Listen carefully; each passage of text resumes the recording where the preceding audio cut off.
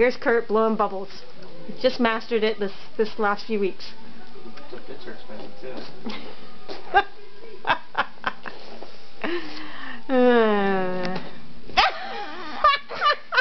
oh, now dog hair. Go put it in the garbage. Look it. Go put it in the garbage. Can I get another one? Yes, you can. Up in the closet.